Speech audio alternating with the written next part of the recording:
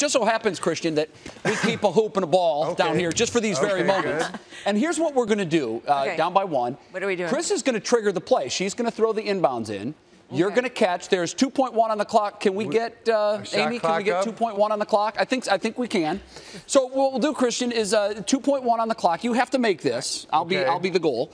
And uh, and let's see so what we got I'm now, Chris. I don't want to put any pressure on you, But it was a perfect pass. it was a perfect pass, and if you don't make a perfect pass, it could throw the whole thing off. So there's a You little want me to do the whole move? well, here's the deal, Christian. There's 2.1 want any on the clock. defense? You want Are you any as- defense out here? Yeah. You know what? We, we, We could- do. who We wants need to volunteer? You pick the defender. Tor, you want to play defense? Come on, buddy. Come on out. Is this your boy? This is my son, Tor, yes. Wonderful. All Come on out. Come on, You he's get to play at doing defense. that. Who was Hustle. was it? John Pelphrey that you hit the shot over? Who? It was Feldhaus? Feldhaus Yeah, and Pelphrey, Feldhaus. yes. Okay. Stand there. So here's what we'll do. Um, we're going to throw it in. Do we have the clock up? 2.1 on the clock. There it is. Time remaining. Now, I don't know. Are you as quick as you used to be? Not as Hands quick, up. no. Okay. All right. Oh, good pass. Plays underway. Oh, there's the move. The shot.